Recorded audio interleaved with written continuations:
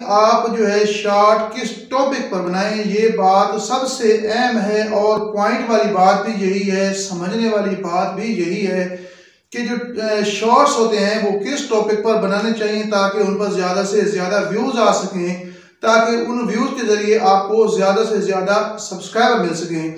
Video बहुत ही interesting होने वाली है, इसलिए वीडियो को अभी लाइक कर दें, चैनल को सब्सक्राइब नहीं किया तो वो भी कर दें। अस्सलाम वालेकुम वरहमतुल्लाहि वबरकातुहू। दोस्तों शॉर्ट्स जो है मैंने आपके सामने तीन सवाल रखे हैं कि शॉर्ट के लिए क्या अलग से चैनल होना चाहिए? तो इसका जवाब है बिल्कुल नहीं है। पहले से ही जिस पर आप काम कर रहे हैं, आप उसी पर शॉर्ट्स बना बनाकर अपलोड करें। ये बात यहाँ पर क्लियर हो गई। अब मैं आपको दूसरी बात बताता हूँ कि किस टॉपिक पर आपने शॉर्ट्स बनाने हैं। तो इसके लिए मैं आपको कहूँगा, हालाँकि मेरा चैनल अपना जो है ना टेक्निकल अमान के नाम से चैनल है। और इस पर मैं मुख्तलिफ़ वीडियोस अपलोड करता हूँ। इंग्लैंड और इंडिया का सेमीफाइनल मैच था।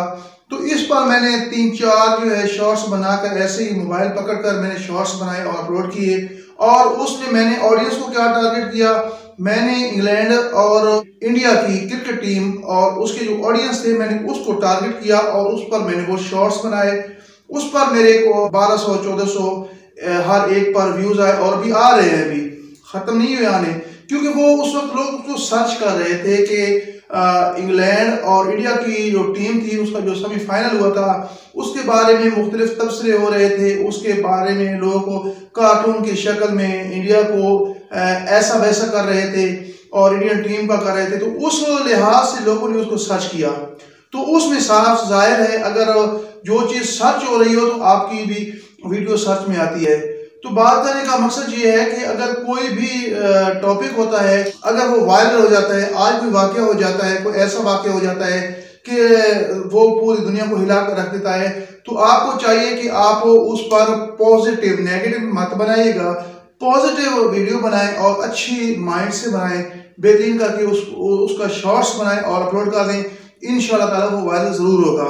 तो ये बात आपने माइंड में रखें कि आपने जो भी शॉर्ट्स बनाना है वो आपने उसको टारगेट करना है ऑडियंस को, उस वाक्य को टारगेट करना है जो अभी अभी ताज़ा ताज़ा हुआ है और लोगों ने उसको दो, तीन दिन, चार दिन तक उसको सर्च करना है।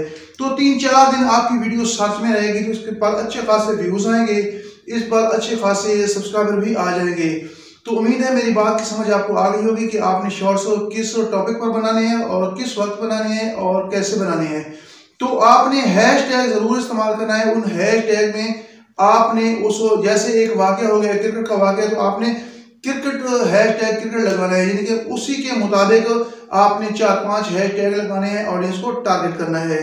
वीडियो अच्छी लगे तो लाइक कर दें चैनल को सब्सक्राइब नहीं किया तो वो भी कर दें। मिलते हैं ताज़ा तरीन और लेटेस्ट वीडियो के साथ, एक नए टॉपिक के साथ, तब तक के लिए अल्लाह हाफिज़।